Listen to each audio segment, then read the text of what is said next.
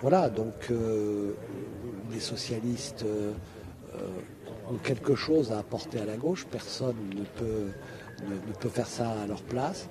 C'est une cohérence entre un engagement et une, l'acceptation aujourd'hui qu'il faut effectivement des politiques publiques très radicales sur les questions sociales et climatiques, parce que les urgences sont là, qu'il faut arrêter d'avoir la nostalgie euh, d'une gauche euh, molle, euh, modérée, telle qu'elle a pu être mise en œuvre auparavant avec, avec des, des, échecs, des succès, mais en tous les cas, dernièrement, quelque chose qui n'est plus adapté à la situation.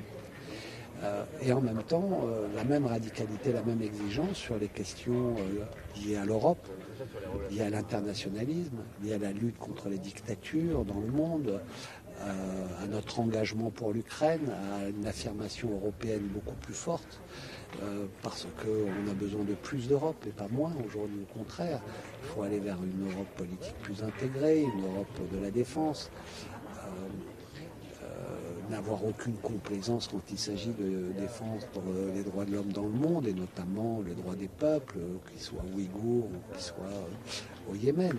Est-ce que finalement certains de vos partenaires sont un peu gênants sur ces questions-là ben, Moi, ce n'est pas une question de, gêne, c'est une question que sur ces questions-là, ils ne disent pas comme nous, mais nous, on doit dire comme on pense, très fortement, parce que c'est ça qui fait notre place. Vous savez, l'unité de la gauche, c'est pas l'uniformité, c'est pas l'alignement derrière un chef suprême. Euh, voilà, donc euh, l'unité d'action, par exemple, elle est absolument nécessaire et possible, et je pense qu'elle va être mise en œuvre dès cette rentrée sur la question de la taxation des super-profits. On est d'accord, donc on va agir ensemble. Et sur euh, toutes les autres questions, euh, il faut aussi savoir, pour être utile, pourquoi on irait plus vers les socialistes que, vers d'autres? Eh ben, Parce que nous, nous sommes pro-européens, internationalistes, attachés aux valeurs de la République, à la laïcité. Euh, euh, en plus de cet engagement qui euh, est commun avec d'autres forces de gauche sur la question sociale ou alors sur la question du climat.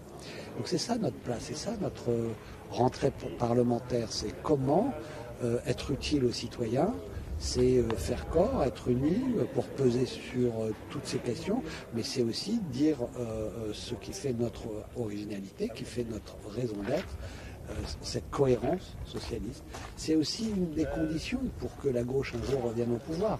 Parce que on peut faire des accords électoraux défensifs pour pas être dispersé, pour passer un premier tour, mais je pense que nous incarnons une orientation politique qui peut rassembler plus largement pour un deuxième tour, pour qu'un jour la gauche revienne au pouvoir.